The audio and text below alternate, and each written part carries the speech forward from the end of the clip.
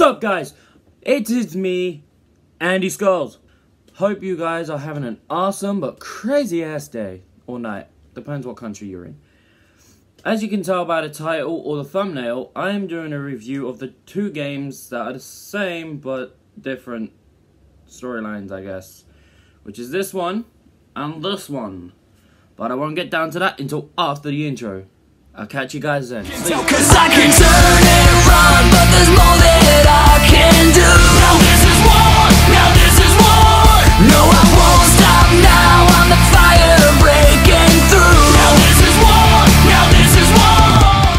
Said in the beginning, I'm doing a review of the two games I am actually one of them currently playing, but while before I was doing this, which is uh, this one, and then this one, but it's the other way around. I'm doing a review of these two because why not? I done one about movies. Why not do one about games? I love games, and who don't love games? Um, yeah, I mean this one's brand new out. I forgot when it came out. The 22nd of May. I forgot when that was. And this one, I don't know when, because I don't remember. Um, I'm only doing this because I've played both of them, and in my opinion, there are some different ones and some... There's, there's a lot of different stuff inside the second one. But I like the second one the most, and in this video you'll find out why and I'll explain why. But if you if any of you think differently then comment below what you think of both the games then I might give this one a second chance. Maybe. Anyway. State of Decay. The first one was I'll admit the first one was fun fun when I got it. This is when you're trying to build up your community and all that, and then somehow your, I don't know, suppliers come out of nowhere. Uh, the, the most part that probably pissed me off the most is a couple of nights ago, I was talking to my friend about this, and he even agreed as well. That in State of Decay 1, the first one, you cannot change the brightness or the grammar. All you saw was pitch black at night and even the torches in the game were complete crap. You can't even change the brightness, you couldn't change the grammar to at least make the screen a little bit whiter. It was just complete dark. Um, but this one, which I am currently playing, is probably better because you get to not change the brightness but the grammar as well. And you get to actually not customize your people, but customize the people you play as. I mean, you have a thousand of choices. I don't know how many choices because I only chose three.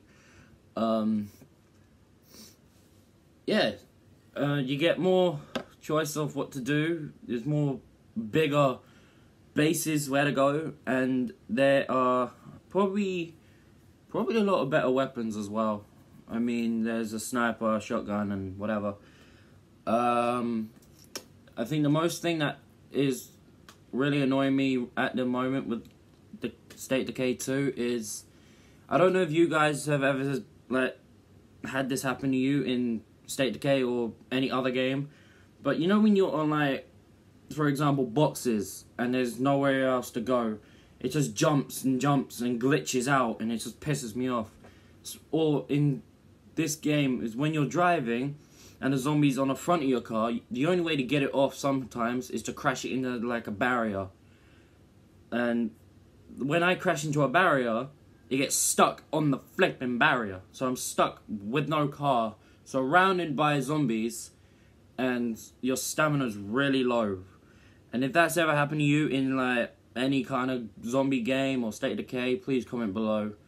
Because I really hope I'm not alone with that or the one I found earlier. I crashed a car, which I didn't know. There was a tire underneath, and it was wedged into the ground. I had to get out my car because the car was wedged on the thing, and I couldn't move it. In my opinion, I think State of Decay should have like what Saint Row had. When you flip the car and it turns, I know it does turn over under the wheels when it's flipped over, on a flat ground for the car, but I think when it's or a, respawn button at least for the cars, kind of like what GTA had or Saint Row, but other than that, State of Decay two is probably a lot better than this, and I hated this game so much. I tried to get rid of it, but I couldn't because CeX wouldn't accept it because apparently of that. And apparently that's because that's American. I can't get rid of it in CeX, so I'm stuck with it. But that's alright. I get the bitch about it because of how much I hate it. But I don't. I don't hate the game. It's just it's annoying because you can't see what the hell you're doing in pitch black. Um, yeah other than that, I kind of like it. I like zombie games. I like it. Kind of reminds me of The Walking Dead, kind of, except there's no Negan, there's no Rick, and there's no Daryl or Carl. But it reminds me of The Walking Dead, which I kind of like because I'm in love with The Walking Dead. Um, but yeah, if you guys tell me what you think in the comments below of what one you like either number one or number two. And my honest opinion, this one's better. Buy this. This one. It might be like the phase two of it, but it's a lot better. I mean, everyone's found that out. Every game that goes on and on and on, the next one's always the better. Uh, I don't know what my next video would be, but I'm gonna let you guys go. Sorry it was a quick video but review, but I really wanted to do this because I I'm running out of ideas of what to do. Speaking about that, comment below of the um options or opinions of what you guys think I should do either on this channel, which is Andy Skullz, or my other one, which is Crazy Boys. And speaking about that, I've decided that the Crazy Boys one is gonna be my musically career kind of job thing, and this and Andy Skullz one is gonna be like my personal life vlog reviews, and I can get the bitch about anything I want without people next to me going. Anyway, comment below of what you think I should do next, and then I'll figure out how the hell to do that. And until next time, why is my screen gone dark? Oh my god, that scared crap out of me.